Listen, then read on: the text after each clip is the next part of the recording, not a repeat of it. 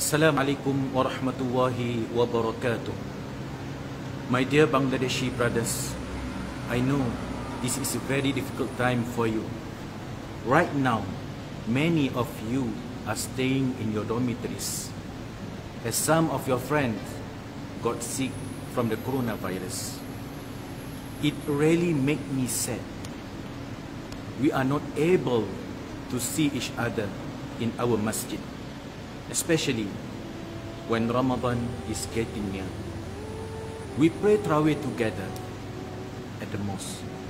We cook together for 1,000 jemaah for iftar on every Sunday. We can never forget your delicious Bangladeshi biryani that you cook sincerely from your heart. I know this activity make our ukhwah stronger.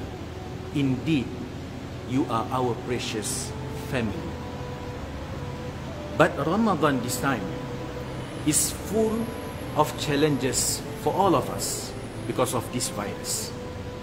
We are not able to do our normal activities, but it is very important for us to stay calm and accept this as a challenge from Allah Subhanahu wa Ta'ala to strengthen our iman and taqwa towards Him.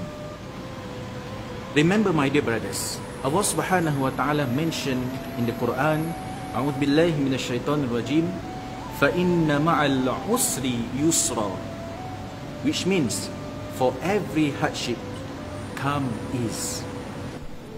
Bismillahirrahmanirrahim. Assalamualaikum warahmatullahi wabarakatuh. To all my Bangladeshi brother, kamu nacho. I hope you all are doing well and fine and Allah Subhanahu wa taala keep you all safe. I would like to take this opportunity to actually thank you guys and always supporting, volunteering, especially in the month of Ramadan.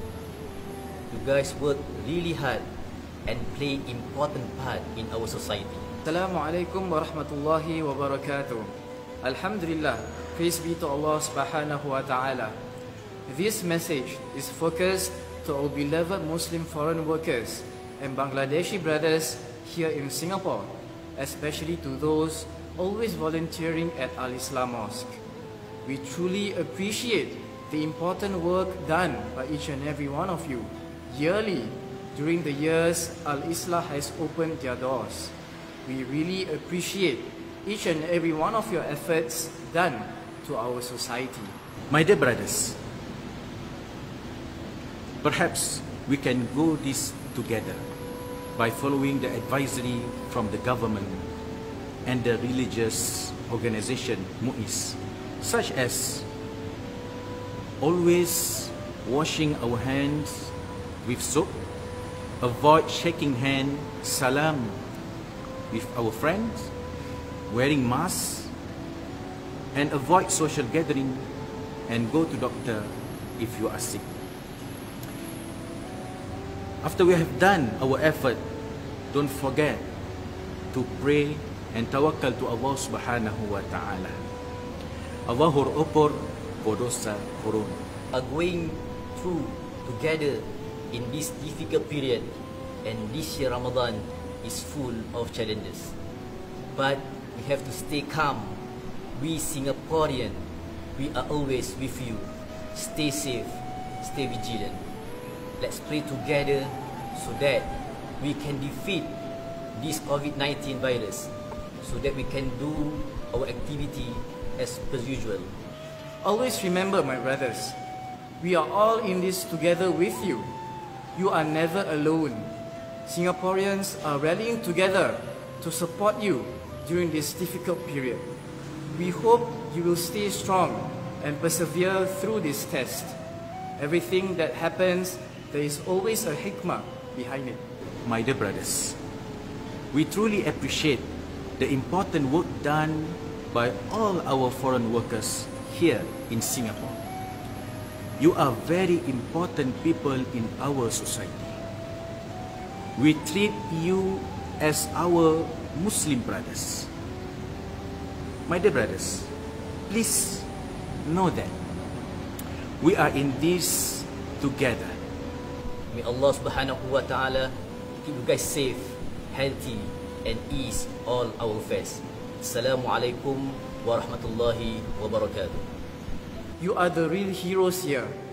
We are constantly praying for your well being, and together we will defeat this COVID 19 virus.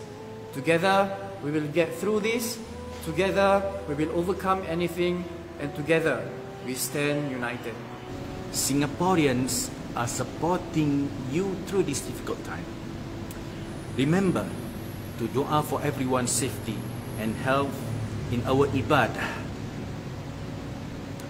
And try to cooperate with everyone so we can defeat this COVID-19 virus together. I love you all, my dear brothers. Please take care, my dear brothers.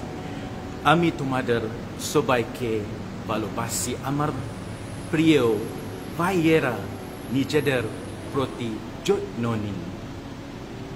Let us continue this spirit by reciting dua together for one another.